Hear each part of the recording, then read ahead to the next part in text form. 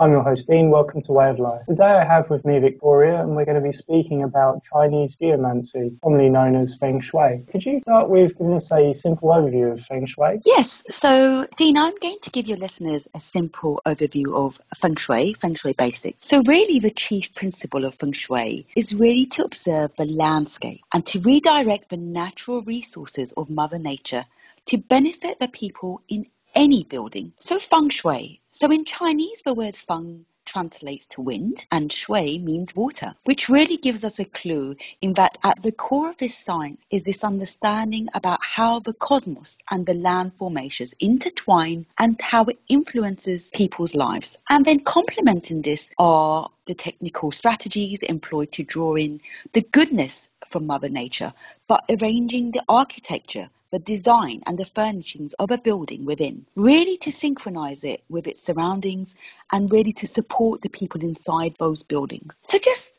moving on from that, this kind of Eastern discipline actually dates back to 6,000 years ago. And it really does apply to millions of us today in this millennial world. This in itself is a testament to its authenticity. Whilst feng shui initially flourished amongst the elites of China, its techniques and application became actually widespread across the wealthy of other Eastern, or I would say East Asian countries especially. And to date, countries such as Taiwan, Hong Kong, Singapore, Vietnam, Malaysia, Thailand, Korea, and even Japan, they have actually embedded many of the feng shui principles for city planning, uh, really with the objective in mind to create prosperity for their people.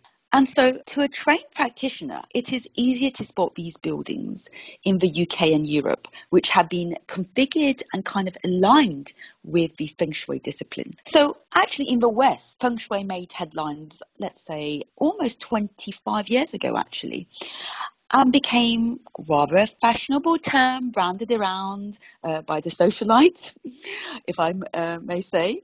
Um, many companies, um, for example, such as British Airways, Air France, The Body Shop, the HSBC Bank, uh, Carlsberg, but to name a few, actually rushed to hire a lot of feng shui practitioners from Eastern countries to improve their brands and their businesses. In truth, feng shui has always been a luxury have. In China, it was a service provided to those only with connections to royal palaces and estates. The reality was, and is today, that if cost was of no object, then you employed a feng shui master to implement sophisticated techniques to provide you with an advantage over your competitors. Now, the key question is, are you ready to put yourself equally at an advantage and thrive in different aspects of your life? So that is just simple overview of feng shui basics. Well, that's a history that I've never heard before, and it's amazing to think around 25 years ago was when it only became popular in the West, so to speak, considering you gave it a date of 6,000 years old, which is pretty much the dawn of known civilization or recorded civilization. Yes, Quite indeed. incredible. Absolutely, absolutely. It's a wonderful modality dating so far back in time, used and applied across so many different countries, not only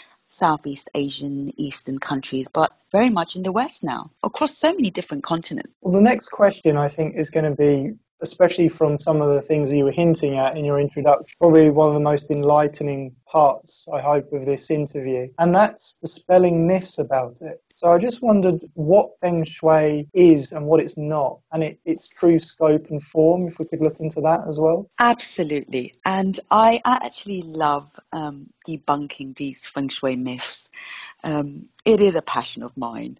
Um, look, now millions of people across the globe have heard of feng shui through vast publications and websites which promote you know its different schools with its quirky sounding terminologies and you know all linked to different kind of chinese modalities ranging from space clearing to spiritualism superstition magic and religion. So unwittingly the hype to commercialize this art has created more confusion um, rather than providing clarity to a, the average person who simply wants to apply the applications and you know yield results. So you know clients and students often start with the same question in mind. And many ask, for example, which school of feng shui actually works? What if I don't want to remove a wall or change my door? And what if my space is limited and I can't move my furniture? Is feng shui like some magic pill that works? Am I going to have a windfall and become the next billionaire? Well, let's just keep it short and sweet um, in terms of an answer. And let me ask, um, let me answer the last question in terms of magic first. It gives me the opportunity to say that feng shui has absolutely nothing to do with superstition, religion,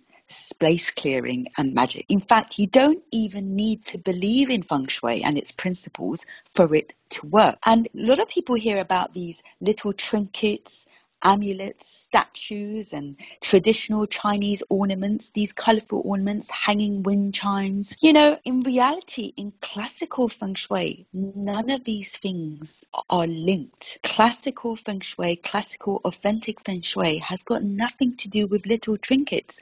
It is about using the energy of Mother Nature, the land itself, from external into internal.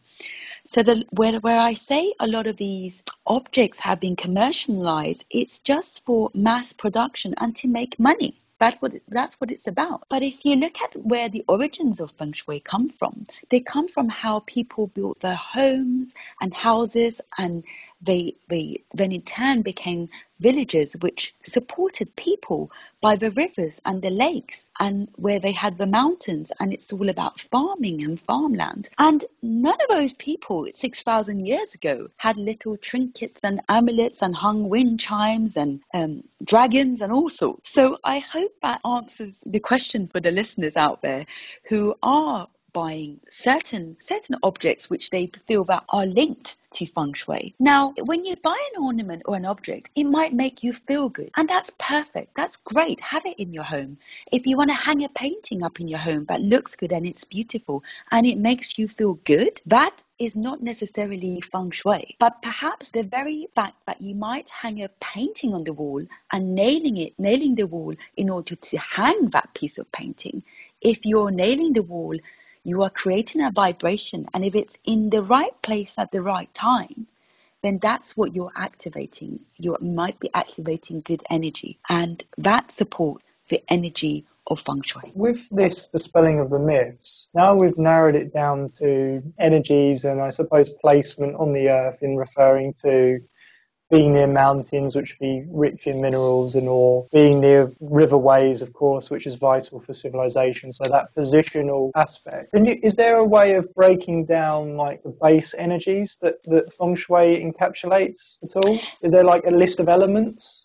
Yes, there are a list of elements. So the principle of feng shui comes from the theory of yin and yang. Feng shui is founded the, on the principle of yin and yang and the theory of the five elements element. These are the very principles used in acupuncture, qigong, traditional Chinese medicine, tai chi. All of these are used in tapping to, to the natural energies to heal the mind and the body. And so what feng shui does is that we cultivate the external energy to come into our homes and offices to support the people. And so we know that yin, yin and yang, well I say yin yang because in the classical Chinese text there is no such term as yin and yang. It's called yin yang because yin yang means part of one whole. So, for example, we know that yin represents quieter, dark, very kind, cold, descending, receiving energies, and the yang is more about the light, joyfulness,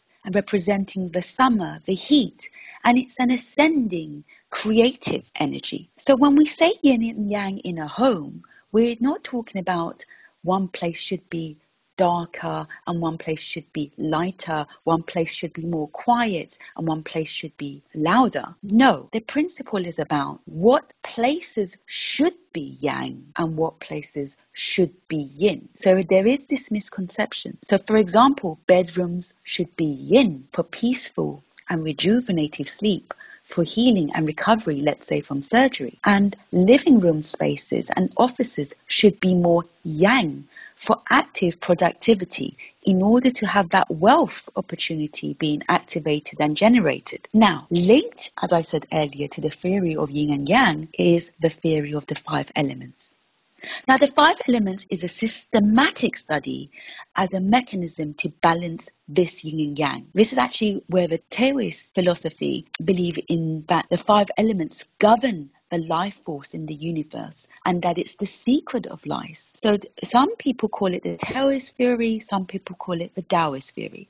It just depends. So, what we're saying about this secret of life, which is the five elements, is that the interactions between these five elements helps us to understand the energy patterns in the universe and that very time and place we know what are these patterns so this brilliant formula allows us to forecast the influences of the surroundings on different aspects of people's lives at any given time. So this theory of the five elements allows us to forecast what can happen in your life in a year's time, in five years' time, in 20 years' time. Isn't that interesting? That you can forecast what could happen and you can mitigate certain circumstances or you can use the opportunity of certain circumstances. Fascinating, don't you think, Dean? I do, and um, you probably don't realize this because uh, I haven't really mentioned much about what I've spoken about on the show. And way of life actually is heavily influenced by Taoist philosophy. So listeners will be quite aware of some of the parts you're talking about, especially when relation to yin yang, how they are actually uh, one entity flowing and also existing because the other exists, dancing together essentially. And you see, if you see the symbol itself, you'll have a white dot in the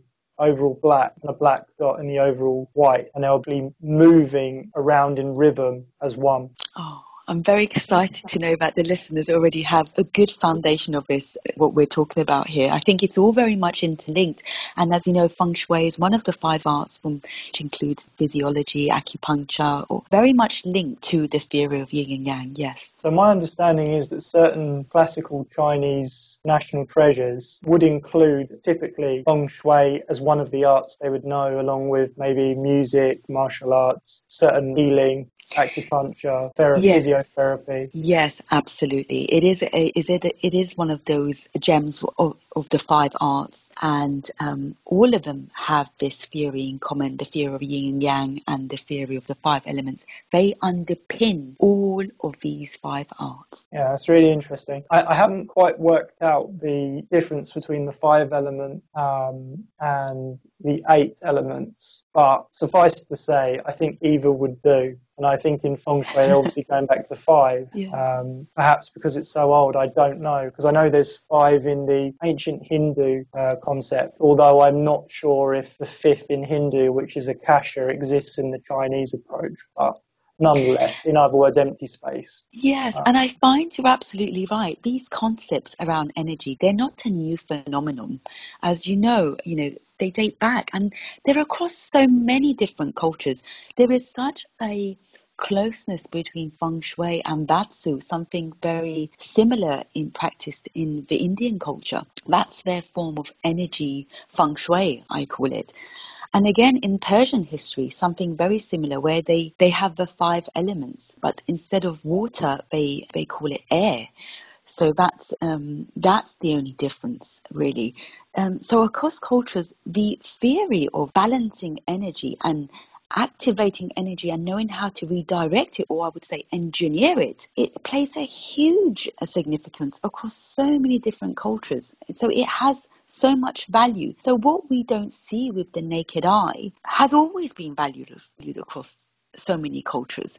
It's just that in this modern day, we kind of lose sight of so many things that exist around us because we are so caught up with what we see and what we hear and what we feel from what we see. Does that make sense? I think so. And one thing I just want to throw in there, and this is only a side note, I'm so glad that you brought up Persia because it is known that if you trace martial arts, which essentially is the control of the human body and understanding of the energies of the human body, it actually starts in ancient Persia, then moves on to India, to which it actually spreads over to China and then on to Japan, etc., Korea. Yes. So that is that is a known path. fascinating. There, there is um, there's I, I like learning new things every day, and certainly that's one fascinating fact. yeah, I just found that interesting just talking about different disciplines. I mean, obviously it's not feng shui, but just so happens that you're, you're mentioning the elements and I'm mentioning the martial arts section, which of course yeah. is still part of that wheelhouse, shall we say. Yeah. So I'm kind of going to ask you a simple question that might come in later, but you mentioned about how in, say, a house, you talked about like vibration potentially from I know it's just an example, but like nailing a a pin or, or something into the wall for a painting. And you mentioned about not trinkets and so on. Are there typical objects rather than the building itself, so furnishings, that go into the building that are thought about in Feng Shui, if you're thinking about a modern building? Uh, so is the question about are there any Feng Shui objects that, that are used in Feng Shui? Is that yeah, the question? Or, yeah, or objects you worry about in feng shui is in what goes inside worry. the building, rather than well, not worry, but think about, ra- rather than just the placement of the actual building itself, but placement of objects in the building, whether it's a mirror, a table, anything like that. Okay, so yes, uh, so we're talking about placement and positioning inside the home. And yes, I was going to talk a little bit about that later on, but we'll, we can delve into it a little bit now. So look, let's get back to this. There are four major aspects of feng shui, okay? There's the time which we look at, which has an influence on the environment. And certain locations can be prosperous at a time, and certain locations may not be prosperous at other times. So, really, it's important for you to know the time when a location is prosperous because there's a formula for you to apply in order to know when exactly your property can be good for you or your family members. So, that's number one, the concept of time. Then we have the other factor, number two, which is about the environment. So about 70% of feng shui involves our external environment. So this is all, as I alluded to earlier, is about Mother Nature. So it's about the contours of the land. It's about the rivers. It's about the streams. It's about the sea, the ocean, the mountains, the hills. And many people will say, but actually in the city, there are no hills. Vicky, where are we going to find hills which support the feng shui of our home? Well, actually, to a trained practitioner, there are hills. There are certain hills in the city, and certain landforms are higher and certain landforms are lower. And buildings themselves within city planning can reflect a mountain, which is very important. So, the third aspect of feng shui is the different types of building containing the energies from the environment. When I say different types of building, I'm talking about is it a landed property? Is it a high rise, a skyscraper? Is it, for example, apartments or flats? Is it a converted home? So these are the different aspects. What type of building is it? Is it residential? Is it commercial? Is it a small shop? Because in feng shui, all of these different types of buildings will need a different support energy for the people within. Because when you live in a home, you want peace, quietness, happiness, joy, health. You don't necessarily have the same kind of energy that you would have in a commercial building or a factory, which is very, very yang, constantly flowing with people. That's not necessarily helpful for health. Okay, so then we go on to the fourth aspect. The fourth major aspect in feng shui is the people, the residents. At the end of the day, feng shui is for the people. The house is made for the people. We don't do feng shui for the house. We do feng shui to support the people. So we question, is the environment good for you? Does it fit you? Sometimes an environment or the house may be good for someone, for example, your mother or your daughter, but it may not be good for you. I mean, you can find this out by looking at your own natal energy chart, and we will go into that because when we do the feng shui analysis for a home or a business or whatever building it may be, we're looking at the energy blueprint of that building. But what we also take into consideration, as I said, is your own personal energy map. We all have our own DNA. We all have our own fingerprints. If our DNA and fingerprints are similar to somebody else's or are the same or the exact same as somebody else's, we may have a problem because we are unique. Therefore, our uniqueness will carry its own blueprint. So what we do is match the DNA of the people against that particular building. So, in answering your question, what are the kind of things that a feng shui practitioner will consider for a building? Well, we need to consider are we activating, are we enhancing the good energies, or are we mitigating, therefore curing unwanted, undesired energies? So, when we talk about objects in a home, what we want to avoid are sharp objects, pointing objects in a home. For example, when you go through the door, we want to make sure that there are no obstacles in front of the door. There is no clutter in front of the main door because your main door is what we call the chi mouth. And when I talk about chi, I'm talking about energy, the vibration. So we, our front door is very, very important. It acts as the mouth for the energy to come in at the starting point through the home. So we don't want any blockages. It's just like your mouth when you're eating.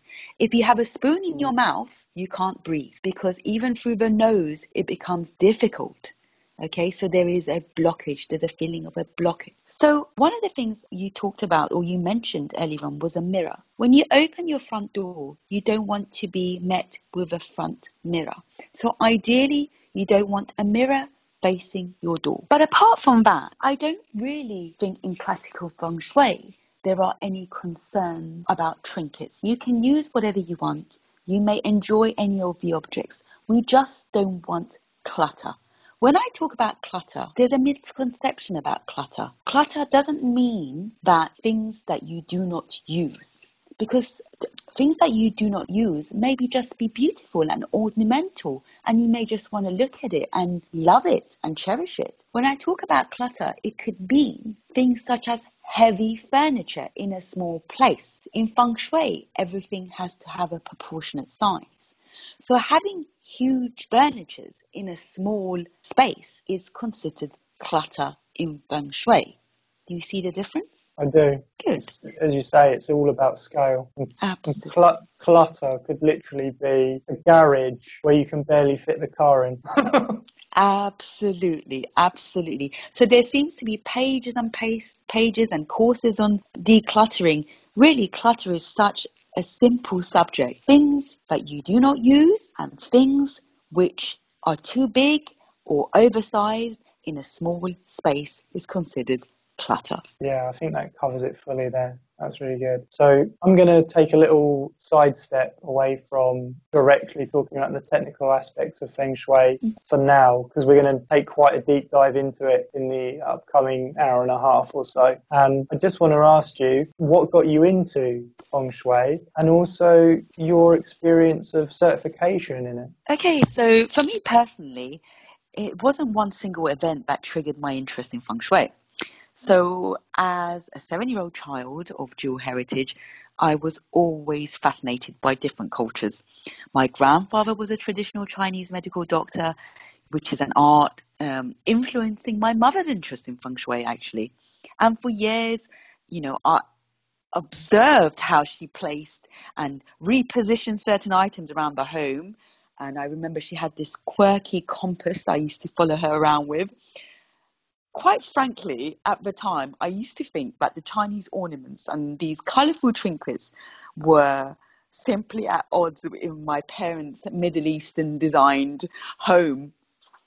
And, you know, it, quite frankly, it, in my formal education, when I started going to London, going to college and university, I began to apply an evidence based approach to my work and in my personal life and soon sort of put aside uh, what I misunderstood to be feng shui, to be some form of near superstition with a positive placebo effect on people. Of course, um, my mother continued to do her thing, her feng shui thing. In any of the new houses I, you know, I purchased, I just let her carry on. I still had an eager interest, but it was at a short distance. Years later, I had the time and opportunity to research different modalities on wealth and health, but I often found myself peering through the feng shui sections of the Watkins bookstore up in London near Leicester Square. Um, I decided to pick up a hefty classical feng shui book packed with all these uh, formulas, rivers, mountains, numbers, all these different strategies. Um, most of them I found so intriguing. But I think one of the most intriguing part of my feng shui journey was when I plucked up the courage to finally ask my mum about some of these theories behind these practical things she was doing in our in our homes. And in essence, what she described to me correlated with many of the classical texts which I had read. And soon after, I decided to use one of my feng shui techniques in my old, my, well, my previous home because I was desperate to sell it. And so I was just absolutely astonished. And even the estate agent was astonished at the time when my house sold far higher than the marketed price. I mean, we knew that the value of the of the property perhaps was not quite as much as people were bidding for. And so this is where I began to understand the why behind the theories, the why behind the practices and applications. So the logic behind the application, as it were. In 2006, I traveled to China, the birthplace of feng shui, to learn a little bit more about the classical books which were, are more readily available in China. I traveled to Hong Kong, Japan, Singapore, and also to France even to undertake formal studies with feng shui grandmasters, renowned masters, and have been awarded the international and UK feng shui, feng shui accreditation. So I practice both here in the UK and internationally. One of the grandmasters that I have trained with is Grandmaster Raymond Lo, who is based in Hong Kong, and the other is Dr. Stephen Skinner, who is Australian and based in Singapore. And one of my favorite teachers, if I may say, is Master or Grandmaster even Tan Khoon Yong, who is based in Singapore, and he makes everything seem so simple. He has this knack not to overcomplicate things. So Chinese metaphysics is just a very rich subject, and many of my peer, many of my peers in this industry will agree with me when I say, if you want to grow, there is an infinite journey of learning in feng shui. So that is my journey. Thanks for that. And I think now it's time to really go heavy into this. So this is the bit that, that everyone's going to be ears wide open for. We'll start with a bit of a guide for the listeners. So uh, let's go for a route guide um, and an a, a 101 to applied feng shui for people listening along and see how it can benefit them. And then after that, we'll do an example that I've given you some information that I couldn't put on air, of course. And okay. we'll go through some targeted feng shui against myself and they can see what it's like when it's applied to someone. And then if we've got time at the end, we can hit into some of the most advanced, after I'm contradicting your grandmaster, some of the more advanced, subtler feng shui mm-hmm. and get some closing thoughts on it just to finish up. So, yeah, let's go. Let's go for the introduction um, and benefits of feng shui for the listeners. Right. So the first thing we need to be aware of, um, I know it's a basic 101 feng shui for everyone, for your listeners. We need to be aware that in feng shui there are two main schools. Okay, one is classical authentic feng shui, which is uh, originates uh, from the compass school. So this is about using a special compass called the Lopan or Laupan, depending on where you are in the world that you pronounce it. And it's about calculating the configuration of the energies in your home. The other school is called the Form School. This is the oldest feng shui system, and it is what you see with the naked eye. So it examines the contours of the lands, the roads and the rivers, buildings and dams, including their shape and size, and material and substance, and even colors. So it's usually what we take for granted because we know it exists, because we can see it and we can touch it, and yet often pay little attention to its intricacies. So I want you to think about the four seasons, how we have become accustomed to seeing the transition flow from spring, summer, autumn, and into winter. So we don't often question the intelligent life force energy behind the transition, but we acknowledge it exists because it is visible and we see the autumn crisp leaves, the winter snowflakes, the, the summer heat wave, and we see the spring flowers bloom. And these are all tangible. Okay, so have this image in your mind. So for Feng Shui 101, this is what I want you to do. Instead of a luopan compass, which is a sophisticated tool, you can just pull out your normal phone, which should have a compass app. So your compass will basically behave like the sophisticated feng shui compass in terms of taking the correct degrees. So all you need to do is go and stand in the center of your home right now, if you want, while you're listening.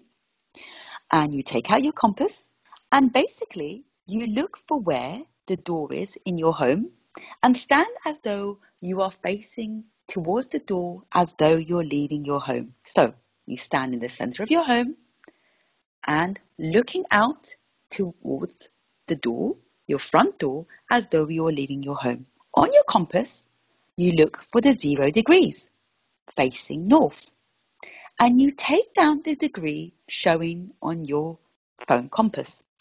This gives you an indication of the facing of your home. Okay, so at this stage, you might say, wow, this is too technical. What do you mean facing? What I'm saying is, we're looking at the energy that is coming through your main door. That's all we're doing.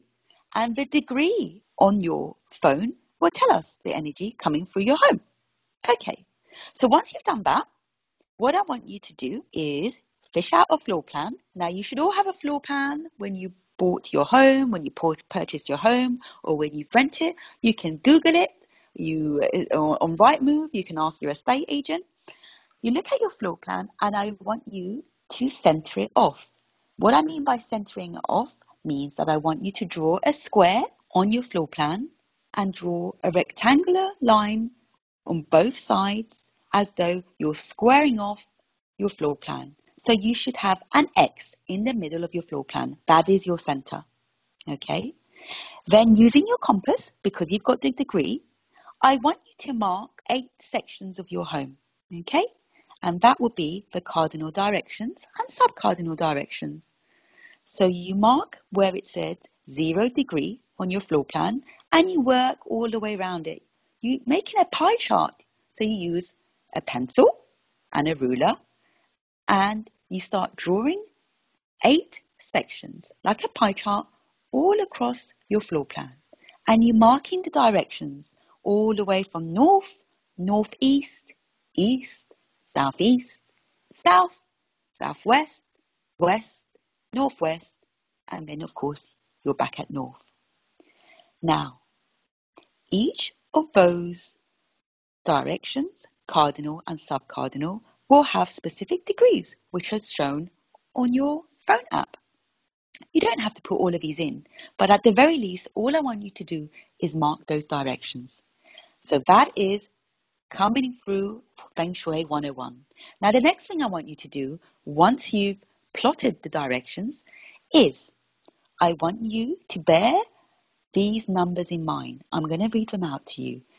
These numbers are qualities of energies for the year, the year 2021, which in the Chinese calendar is called the Metal Ox Year 2021.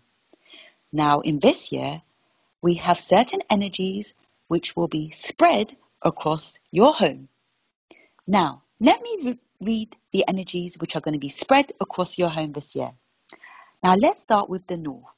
In the north, I want you to write number two. This is called number two, the black star. Each star is just given different colors. So that's all you need to remember. Number two in the north. Then you go across to northeast and write number nine. Nine purple. So its color is purple. Then I want you to go into the east and write number four. number four, the green star. Then to the southeast, number five, the yellow star. Then go into the south section and write one, the white star. Then to the southwest, number three, known as the jade star, also green. Then to the west, write number eight, the white star. And finally, in the northwest, I want you to write number seven. Okay, so we now have a chart on your floor plan. We have a floor plan with eight sections drawn onto it with the cardinal and sub-cardinal directions and the correct numbers which represent quality of energies for the year in the right directions. Okay, so before I go ahead, Dean, does that sound clear to you? I think that's clear for everyone. That was nice and paced slowly, so people can go and listen to that back on the archive in a couple of days' time if they missed some of it anyway. That's great. Perfect. So now we go into let me describe what each of these energies actually mean and what they can do for you this year. So let's start with the North Star. The North Star, which I call the Black Star, is related to Mother Earth. It's related to the energy of health and well-being. So in the North sector of your home this year, what we want to do is make sure that your health and well-being is being prioritized because number two is related to that. So now how do we remedy any health issues or any potential health issues? What we do is in feng shui, we have remedies and cures. For number two star, which is the quality around health and well-being, we generally place a salt cure, for example. So that is S-A-L-T, salt cure. What we do is we use coarse salt. It has to be coarse salt.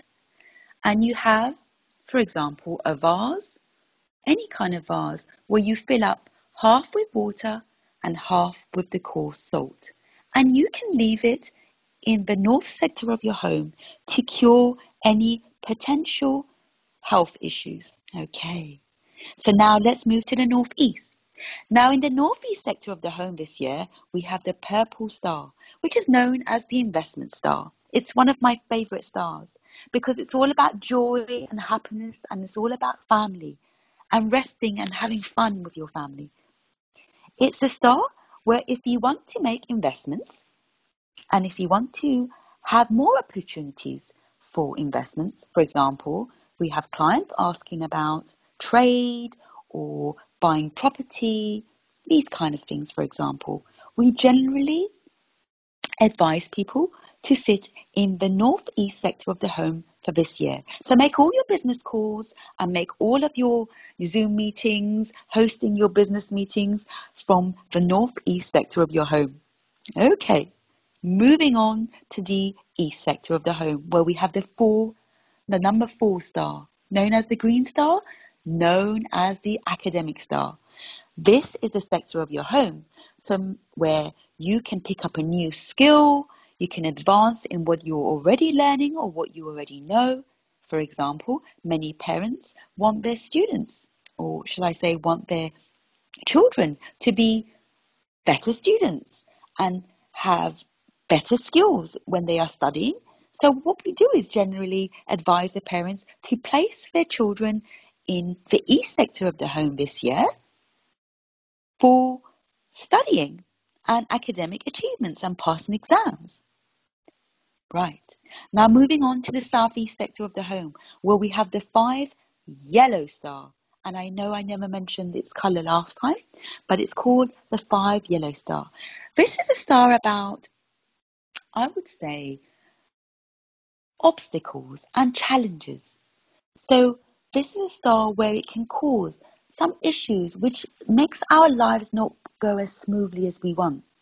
So to cure this energy and neutralize it, what we do is we can hang a metal wind chime. Bear in mind, we want the wind chime to sound beautiful and sound um, having the pure sound of metal. So we don't want any wood elements in this wind chime. You can also play the sound of a piano in this area to cure any of these obstacles. Now, we will now move to the south sector of your home. Here we have the number one white star. It's known as the noble people star. This is where you can do your work, do your business, you can sit and meditate if you wish. And actually, this is a star about people helping you out. Good, genuine people coming to your aid. So, for example, let's say you have a project and you don't know how to present using PowerPoint. Something as simple as that. Using this sector of your home means that people always freely and readily are accessible to you. Maybe, for example, your car breaks down and you're in the middle of the road in the pandemic and nobody can really come out. But using this sector of your home means for some reason there is a situation created where somebody comes to your aid. So that's why I love this sector of the home. Helpful people. The southwest sector of your home. This is the number three, Jade Star. This is known as the miscommunication star or the argumentative star.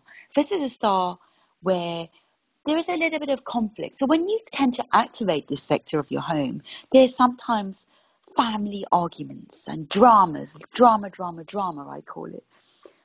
But of course, if you're someone that's quite quiet and generally you can't voice your opinions, it's a good sector to use because it gives you that confidence to speak out.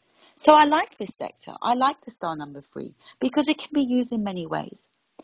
To mitigate the arguments, I always say you can use three long bamboo stems and place them inside the vase with water. And that's how you remedy any arguments. Now moving on to the west sector of your home. The west sector of the home has the eighth white star this year, which is all about the abundance. This sector is used for working to generate wealth. This is the number eight star, which we call a timely star because we are in period eight. Now, I sound a little bit technical, I won't go into it, but it's a good star in general. Now, if you're an entrepreneur, this star is not for you you use the nine star in the northeast. But if you're working in an industry or a structured management, let's say the military or you own um, a shop, for example, use the west sector because the energy of this sector helps you to boost your energy to work hard. So you're working hard and you're generating money. Now, in the northeast sector, finally, we have the star seven. This is a star which is about litigation, which means you have to be a little bit cautious about not getting in trouble with the law, not making mistakes through contracts. So this star we want to mitigate because it's almost like when you spend time in this sector of the home, you tend to have misinformation and make decisions based on misinformation. So how do we mitigate it? Quite easily. All we do is place something small, a red object, any red object in this sector of the home to mitigate some of the unwanted or undesired energies of star number seven. Now you may ask, what about the center of my home? There's a number missing. When in the center of the home this year is star number six. And yes, you can use it. Star number six is about power and influence. Now, again, if you are in a structured company or organization industry eh, in a managerial position and you want to progress in your career, you can use this center space and spend time in there. Again, working, making your phone calls, you know, holding your Zoom meetings. Now, you may ask, Vicky, why are you telling us to use these sectors, making phone calls and holding conversations and networking? Because the element in feng shui that is important is the human chi, the human energy. This is not magic. This is about the human it, utilizing the energy in that particular sector in that year to be able to support the activities and the goals you want for that year. So I hope this 101 introduction is useful and you can apply it straight away and achieve the goals you want for this year 2021. That's great. So there you have it. You've just had the overlay of the compass in traditional feng shui attuned to the very year we're in, 2021. So what more can we ask for? Thanks for that. Most welcome. And now we're going to start getting into a bit of a demo. So you might be thinking, okay, that was a bit impersonal. It was just for the year. So Vicky's kindly managed to ask me a couple of questions up front, which were my date of birth, time when I was born, the year that my house was built, and also she asked me, very similar to the 101 demo she gave to you all, if I stand in the middle of house, what degrees and compass orientation am I at when I'm facing the front door, where it's positioned relative to where I'm standing in the middle of the house. And so now, hopefully, this will inspire people, give people uh, the idea of how some of this actually fits into practice when it's used against people in, in these places. Because as you were saying in your introduction, it's all about the people. Absolutely. Okay, uh, so we're going to do this uh, live demo. Dean has kindly provided me his date of birth, which I won't read out, obviously, for obvious reasons. And as I said earlier on, what I do is something quite specific, and most classical authentic feng shui practitioners will take into account your own personal energy natal chart and overlay it with the energy chart of a home to see whether the house supports you or not, and if it doesn't, to make adjustments. That's essentially what feng shui is about. Now, looking at Dean's date of birth, I see that he is a Gui water day master. You're going to say to me, what on earth is Gui water? It means he is a yin water, that means a quiet water person. That's who he is. He's a quiet water person. Now, in astrology, because this is actually about Bazi, it means eight characters. This is Chinese astrology because the Chinese astrology provides me or a feng shui practitioner with the natal energy chart of a person. Now, most commercialized astrology talks about one animal sign, like for example, a Cancer or a rabbit or a horse or a Jupiter or Saturn, and then you have the 12 zodiac sign, goat, sheep, pig, rabbit, snake, all that. Well, Actually, in Bazi Chinese astrology, where we read a person's natal chart, each person has four animal signs because it includes the hour of birth, the day of birth, your month of birth, and your year of birth. So actually, we all have four animal signs. The one we take into consideration the most is who you are as a person, which is the day you were born. And actually, you were born on a snake day. However, your yearly astrology sign or animal, zodiac animal, is for tiger. So you're a tiger, as well as a horse and a snake, Dean. Is this the first time you've heard of this? That is the first time I've heard of the multiple animals. When I have looked into Chinese astrology as a English speaking only novice, I only knew about the one animal, the element associated with it, and the state of the animal. I did not know about the other animals that make up the entire date of birth. Okay, it's interesting. So this is uh, hopefully an interesting, intriguing fact for everybody here. We have four zodiac animal signs. Now, what I'm going to do is I am going to first of all look at your own natal energy chart and tell you a little about, if you don't mind, a little about your own energy levels. So, what it says here um, from my uh, handwritten notes, what I've worked out is that actually you have uh, quite a lot of fire in you, and fire is very important for joy and happiness. Okay, it's an element, especially in the year 2023, 2024, when we shift into a different period. This is where your opportunities really begin here you will come out of your shell and shine, as it were. And then one of the other elements you have in your chart is the wood element. And this is about your creativity. So you do enjoy things which um, allows you to have an output and be creative. So the fire element is supported by the wood because what does wood do to fire? It supports it, it ignites it. So your creativity actually produces your wealth. Okay, so that's to bear in mind. Absolutely. And also, the third element in your chart, which is as equal to the wood element in your chart, is earth. You have the earth element. Now, the earth element in your chart is all about your influence. To you, earth means influence. And actually, in the year 2021, because of the energies of the year, what it shows is that you will have 100% more influence in what you do. That means more responsibilities in what you do. So, actually, this will be a very good year for you to go for promotion, to go for new jobs, or move up the ladder through your creativity because your voice will be heard. You have the platform. Now, as I said earlier, we have the five element theory. So I've talked about the fire, the wood, and the earth and what they mean to you. The next two, the water. Water to you is about companionship, is about friends. Because if you recall, I said you're a yin water day element. That means the same element as you. So often we say that actually the water element or the same element as you is what is needed in terms of networking. For you, you are a connector.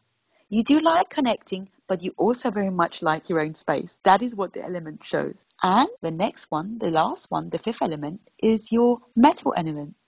And the metal element to you is about thinking and resources. It's about how you think about things.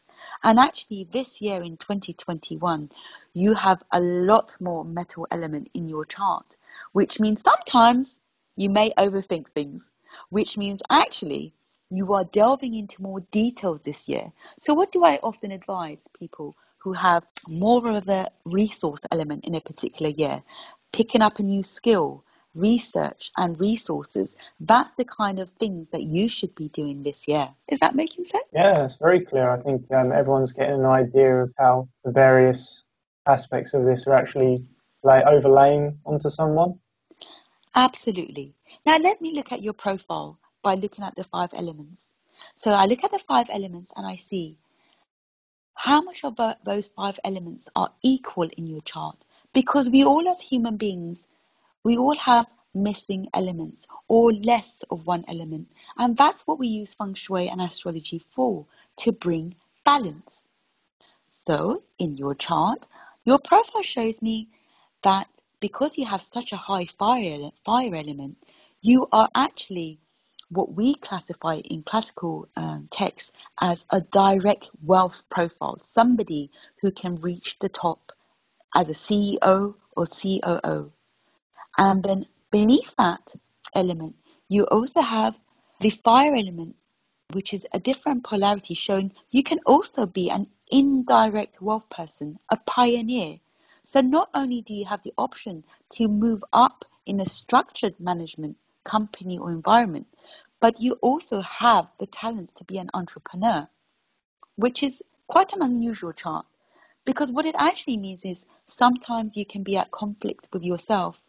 Sometimes you want to be your own boss, and sometimes you might want to just be in an environment where you just move up the ladder. And this is a challenging decision for you throughout your life. Okay.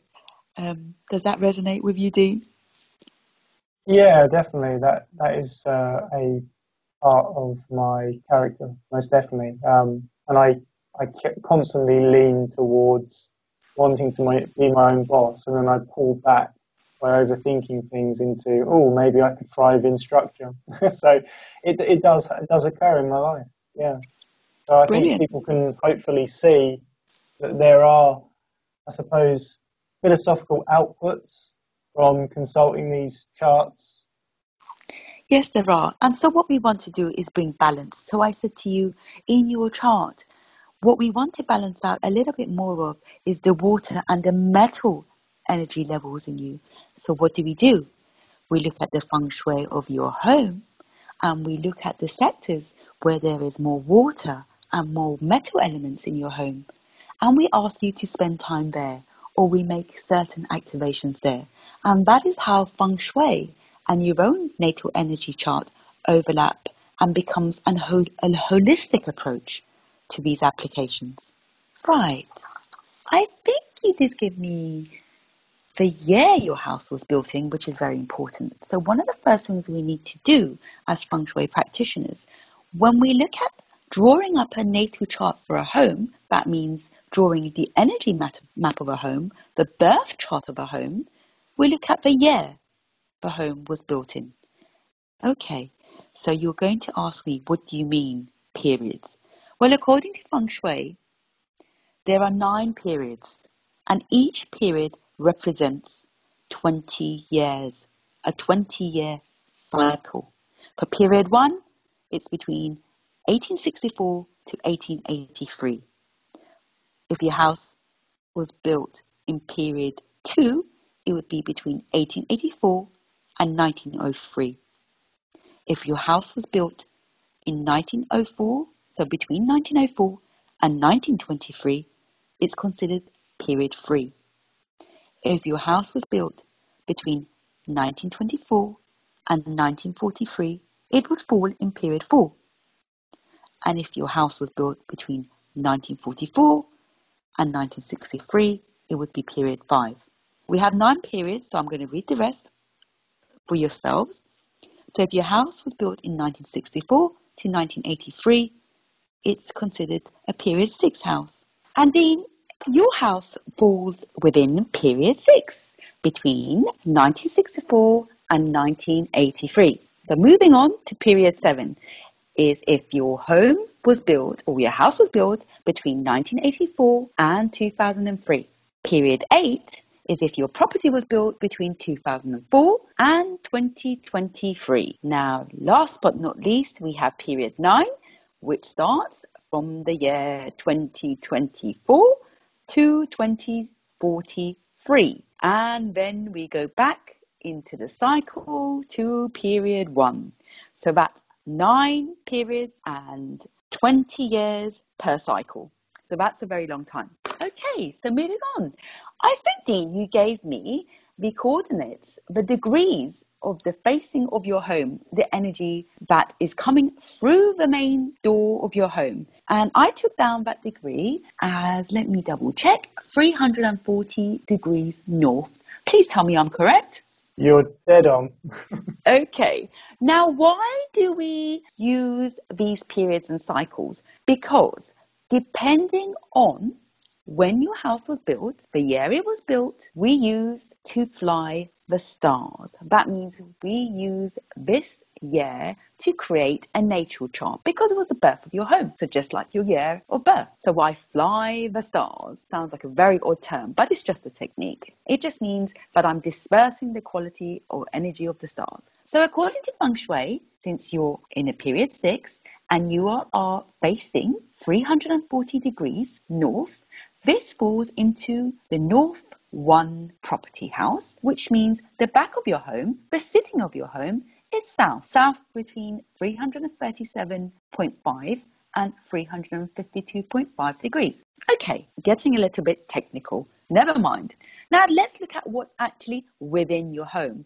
Now, if you did as I said, and you took out your phone, took the degrees, got your floor plan, and marked all of the different directions in a pie chart, so an eight segmented pie chart, you would now be able to plot these numbers as I tell you within those sectors. So get your pen or paper out and in the north sector of your home, I want you to put these three numbers, six, six, and two.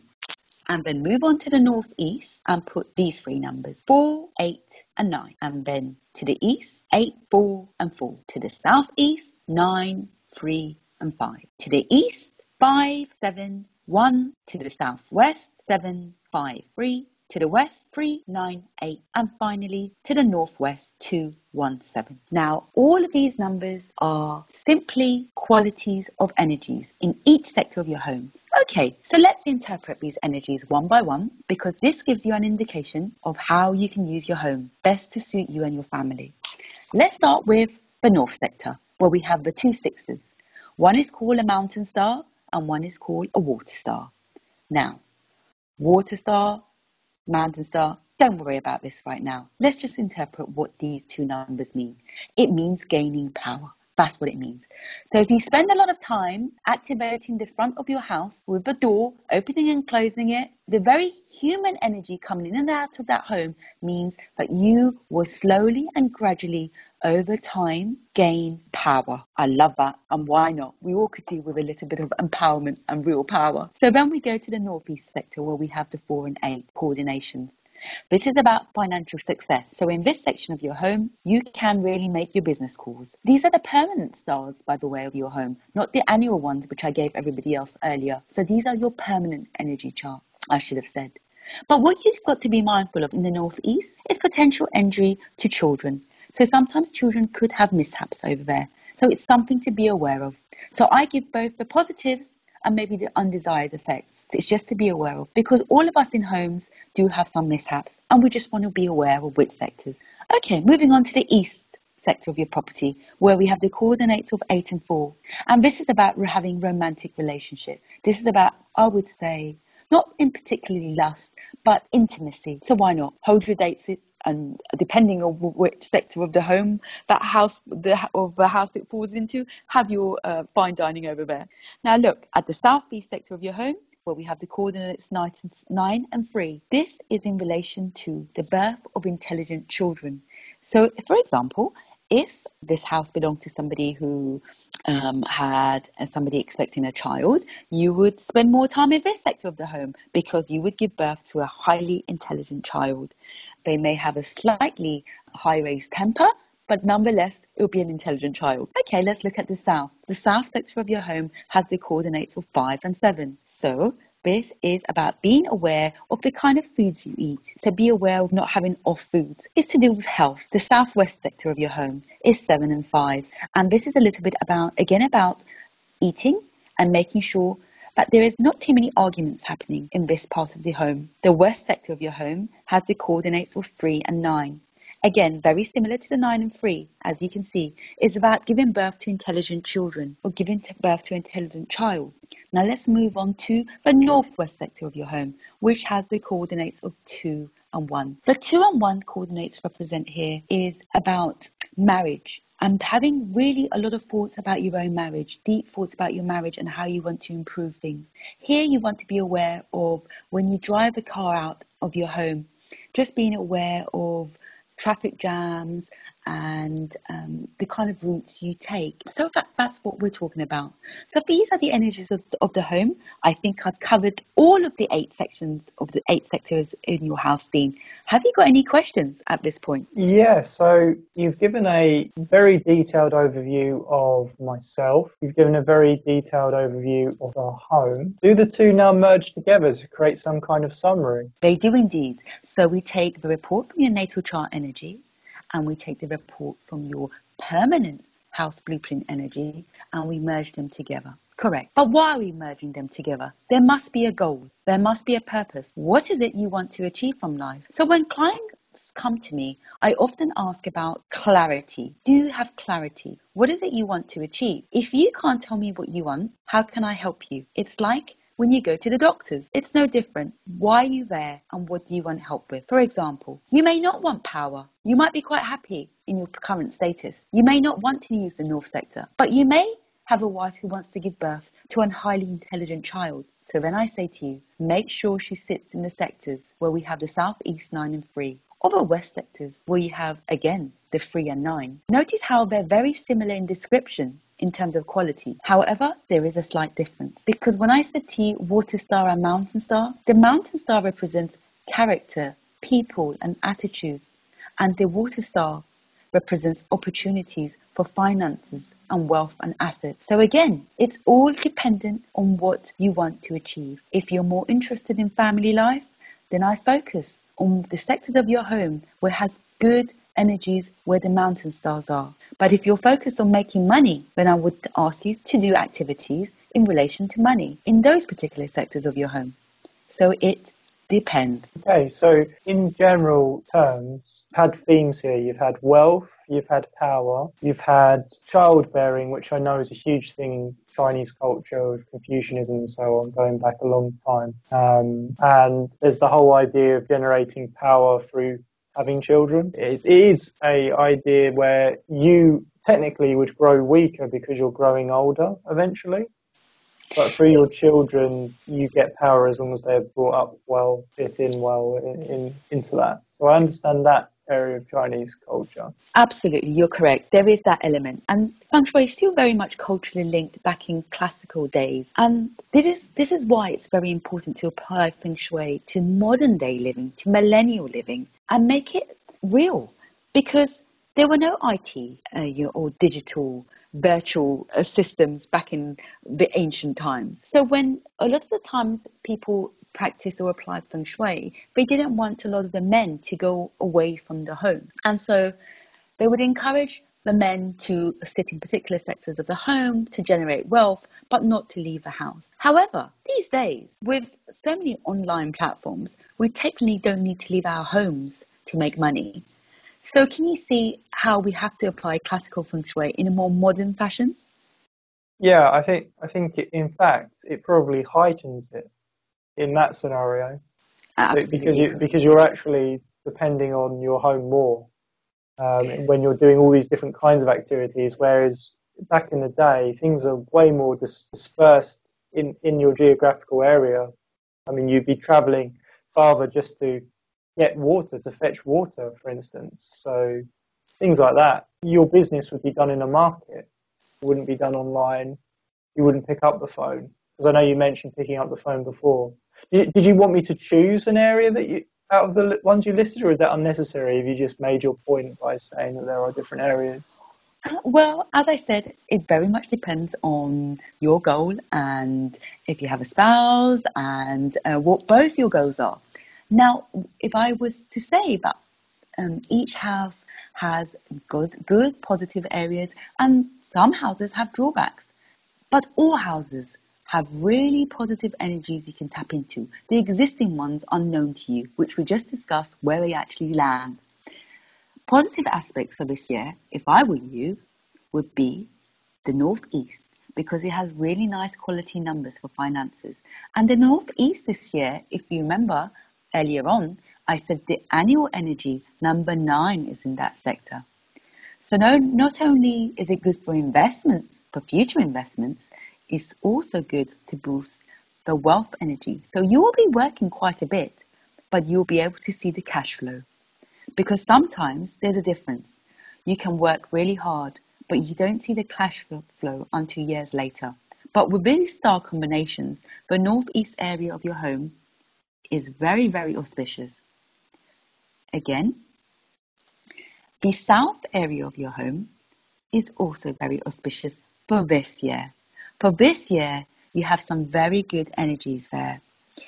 And for this year, again, you should be spending time there and making your business calls. Now, the permanent energy chart of your home, which is a 5 and 7, it does require you to be a little bit cautious if you're cooking there or if you're eating there, which means just be careful not to have off foods. But apart from that, this year the south is a good sector for your home. Interesting, because my, my office actually sits in the uh, south, um, the southwest of the, of the house, shall mm-hmm. we say, or the south, the south side. Uh, the landing to the up to the northwest, it's because obviously there's there's overlap, isn't there? Yes. Okay, I'll tell you what. Why don't we make this a little bit interesting? Now, I do like activations and neutralization. I mean, feng shui at the end of the day is not about just knowing where to sit and place things. It's also about using some special dates um, which I use the cosmos of the energies. It's a bit like astrology, knowing when to activate. So it means that the human being does the right thing at the right time in the right place. So there are some really amazing dates coming up actually, which I would like to share with some of your listeners. Like especially today was one of those good dates. Today is a good day to, for example, do any kind of performance activities. For example, being on the radio show right now, being on your radio show. That's the kind of activity um, which is good for today. In fact, what I'm going to do is, if you don't mind, I've handwritten some of these dates uh, in my notes. Can I share them with your listeners? Is that okay? Of course you can, yeah. Right. Okay, some dates coming up. We have magnetism. The 12th of March between 1 p.m. to 3 p.m. in the afternoon. This is the power of magnetism and charm. I love that because if you have magnetism and charm, well, of course, you sell better, you have more clients, you have better relationships with your spouse, your partners, your girlfriend, your boyfriends, and people at work. So between 1 and 3 p.m., what I want everyone to do is to back to the south sector of your home. This means your nose pointing north. I want you to do a quick I don't know, a five minute kind of visual meditation if you want, a little meditation within that particular area, backing south, place yourself in it and think of, for example, doing something really charming, good activities, your own meditation. I'm not going to teach you how to do that. That's something you can do because it has very special configurations on the day. Now, we're all very busy people. Please don't sit there for more than 15, 20 minutes. I mean, anything with the word over is uh, not good. Don't overeat, don't overdo, that kind of thing, you catch my drift. Another special date is the 25th of March between 11 a.m. and 1 p.m. This is to do with super learning. This is about learning things very, very quickly.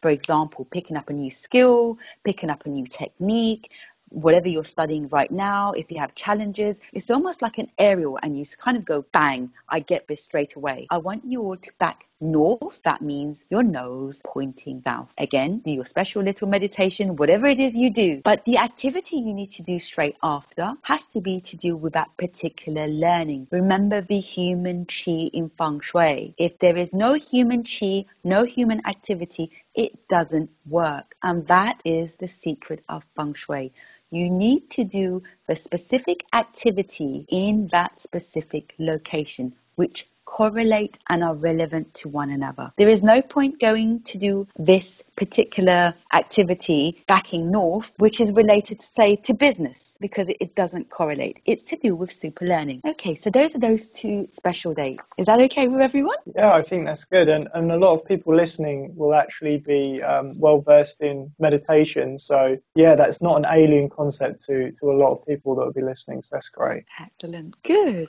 Good. And please give me some feedback or may it be for yourself, Dean, uh, some feedback in uh, a couple of months' time as how it all went for you. Yeah, definitely. If, if anyone's listening, um, pop a message in the chat or get in contact with me on Skype. Uh, yeah, just just drop me a message and how you get on with it. Can always have a little bit of back and forth over the coming weeks and months. And so with that, I think it's time now to go into areas that you're interested in, Victoria. So I want to move on, if, you, if you're done with the, the full readings and, and the dates, to yeah. go into either what you consider your current frontiers in Feng Shui, advanced concepts, or an advanced concept that you, you would just love to talk around at the moment with people. And may, maybe there's someone out there that's familiar with Feng Shui and they'll, they'll really appreciate another practitioner talking about this area. And this will be our, our final part. And then at the end, we can probably summarize what we've talked about because I think we've given people such a, well, I think we've probably blown people's minds at what Feng actually is compared to uh, someone like Laurence Llewelyn Bowen back in the day throwing the term out when he was painting walls in purple in, in houses oh. um, for the UK listeners. if they get that reference. It's yeah. probably falling on dead ears for some of our more international audience um, uh, and uh, a lot of our American listeners. But yeah, it would be interesting to, to summarize at the end because there, there's so much there. And as, as you've said already, there's that balance. I don't want people to come away thinking it's just reading stars because that's not quite right either. There's this balance of energy, position as well. Absolutely. I mean, um, you know, a lot of people may think, oh, this sounds a little bit wacky, it's a little bit woo woo. Well, look, the, the cosmos and astrology, that kind of modality has been around for centuries. That's slightly different, but it's taken into account when we practice feng shui. And feng shui calculates the actual energies of the environment using a very sophisticated Chinese lo pan. But because not everybody has one or have, has access to one, we use the mobile phone. Now, I say use the mobile phone because it's better than nothing, but actually, with the luopan, it considers the um, magnetic north and it considers the kind of disruption from anything metallic, any electromagnets. And the compass picks up on that to get the exact accurate information. This is actually a science dating back to 6,000 years, even. It's because we had all of these sages, we had the star observers actually writing down and calculating and taking data as you do now in science as to what are the occurrences that happen in every 10, 20 year cycle. And they would evidence that and they would write tons and tons of classical books on it. So if feng shui did not work, it simply would not be in existence today and it would not be used by so many powerhouses, so many big corporations, so many brands. So that's the reason why I say if you use feng shui accurately using science and using mathematical techniques, then it does yield magical results. Aside from those recordings, there are also recordings done of reoccurring events against every action that the emperor would take. And there are entire archive keepers that every time he would make a decision, they would be consulted to look at trends. What were they doing on the day in the past? Absolutely correct. And one of the Sun strategies, the emperor strategies, is actually there's a famous book on it, Sun Tzu War Strategies, the warcraft strategies. And these were all used using feng shui techniques and using astrology techniques. And so there is something to it. And some of these warcraft techniques are actually using modern day strategies in, in the Western world and in the Middle East. It sounds to me like it's taking into account energy, electromagnetism being energy, and it's also taking into account precedent reoccurring events and, and marrying the two together. It's seeing patterns in, in both um, energy but also events. Hence the recording. is this link between philosophy but also physics, linking the two together. Yes, because it's in it's within history that we learn our lessons, and it's within history that we look at the trends and patterns and try to avoid or, or mitigate certain situations. Now, you ask about what is one of my next advancements or passions around feng shui. Yeah. I love forecasting. I love forecasting using the five elements. For example, like I said, we are currently in period eight and we are soon going to be, well, officially entering the period nine in the year 2024, on um, the 4th of February 2024, even. And this means a whole new change over a 20 year cycle, new beginnings, a fresh start. This gives people another opportunity to to restart something. It's the, the new birth birth of, an era, and not all of us get this get, get this opportunity. So I like forecasting because I like preparation, and all leaders need to prepare and we need to anticipate what can happen. And period nine is very much about the fire energy, something which you have a lot of in your chart, um, Dean, if I may say so. And to you, the fire energy is the wealth energy. So the fire industries will do extremely well. The fire industries are beauty, um, beauty parlors, beauty physicians, hairdressers, restaurants, metaphysics, especially anything to do with spirituality and the highest consciousness, anybody who's in healing, anybody who's in yoga, meditation, all of these industries will see a very high demand. And especially if you are in the IT digital industry platform, again, a high demand. So that's the area I like to specialize in because when people bring me their house charts and their natal charts, we like to think, let's plan for the future. And we look at dates, which is good to make investment. We look at dates where it's perhaps good energies to get married. We look at dates to activate, for example, I don't know, investing in a home or moving house. So I think you catch my drift. Well, I really liked your point about preparing because one of the key philosophies put forward in the Tao is that an absolute they name outright is constant change. And constant change means constant opportunity to move with that change with the laws of nature and heaven, as they would put it. And so preparing to be able to move with that change and then doing so in a balanced way is very much in Taoist philosophy and seems to overlap quite clearly with with the feng shui practice. Mm, interesting. Yes, indeed. Absolutely. They underpin the same philosophies. Would you would you like to have any more questions for me? Yeah, I was going to say is there any anything that is currently in the works with exploratory feng shui? So obviously this was formulated in the past. What's what's happening now with record keeping? What are the grandmasters up to now? Yes, and this is very important collating data and the research behind the application of, feng shui and how it works is the bread and butter of a practitioner. Because if something doesn't work, it means you're not doing something correctly. Amongst the grandmasters, yes, they collate this data and they are all working together to put a book together uh, on all of their years and knowledge and experience, which would be fantastic. I don't know when that will be published, but so I hear that's what's happening. But in the UK Feng Shui Society, a lot of the practitioners are working together, looking at case studies and seeing how things have worked and to what degree. That's very important because we need to evidence how Feng Shui works and we need to evidence which application perhaps works best and suitable for whom. So, in terms of evidence and data, yes, there is a lot going on behind the scenes in the feng shui world. And what is exciting is that we still have the Modern Day Living Feng Shui magazine by Dr. Stephen Skinner. And in that magazine, we have hundreds and hundreds of publishings of articles on feng shui and, and data analysis and research. So that's something that uh, your listeners could tap into. That's great. And is that accessible via a simple web search? Is there a? It is. Now I'm trying to recall what the website is, but I think if you type type in Feng Shui for Modern Living, you would see that pop up straight away. And it's a magazine and it's a digital online magazine. If someone wanted to talk to you about Feng Shui and potential consultation or to put you in contact with someone that wanted to um, reach certified Feng Shui practitioners, do you have a best way of being contacted? Yes, I do. First and foremost, I think anybody who wants to seek a Feng Shui practitioner, it's very important to really understand their credentials, know who they have been taught by, make sure that they are insured as a practitioner, that's very important.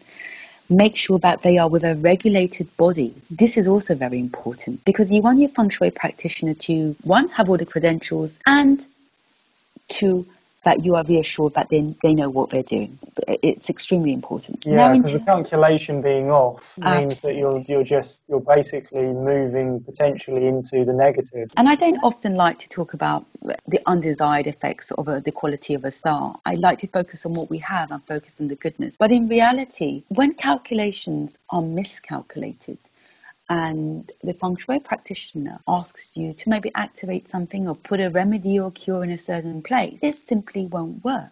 And nowadays, what I find with my clients is that they want fast results. They are no longer content with this evergreen feng shui where over 10 to 15 years, that's when you suddenly accumulate this wealth. People are struggling right now in the pandemic. People have lost their jobs over the past two, three years. And people want happiness now. People want their well being and sanity now.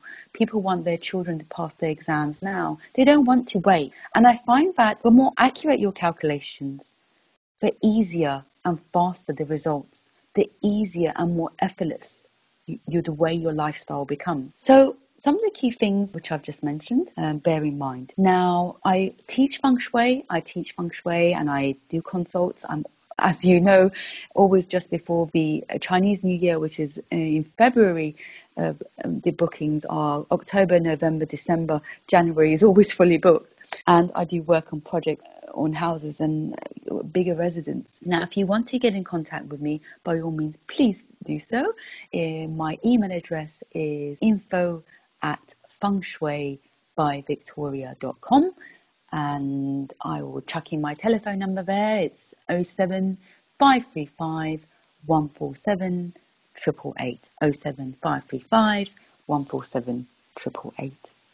And I'm wishing everybody a very, very happy Chinese New Year because um, yesterday would have marked the last date of celebrations and today is now really officially we are into the second month of the Chinese New Year. I'm glad you actually picked up on my phrasing earlier about I don't like to dwell on the negative when referring to the way that you see and use Feng Shui. It reminds me of Zhuang Zi's branch of the Tao in that one of the major pitfalls he saw in operating within the way or the path to categorize everything as good and bad because the person categorizing it is not the source of the laws of nature, but in fact a human with flaws. You are not perfect, you are the product of nature, you are not the guiding law of nature yourself. And so when you said I like to dwell on the positive more, to me that was simply differentiating between understanding the difference between harmony and disharmony versus positive and negative, which is something slightly different. You're more positive. You're more focusing on simply harmony. Oh, you put that beautifully, Dean. Yes, indeed. That is. Well, it wasn't me. It was it was someone several thousand years ago. So. well, that is my mindset. I can't take the credit. take the credit. Take the credit for reminding everybody and the listeners Absolutely. I think mindset plays an important part in everything we do, every application of our lives, including feng shui, including astrology, in anything really. And, you know, energy in itself has to be upright. And to have that upright position, you need to really zoom in into the good stuff. And I think that's what makes a difference in feng shui. That's great. Thanks very much for the interview, and I'm sure everyone really had an interesting time listening to this. Brilliant. Thank you so much, Dean. It's um it's been an honor to be on your uh, chat show, be interviewed by you, and thank you so much for the listeners out there. And I heard that you uh, took something from this. Thanks. Bye. Bye.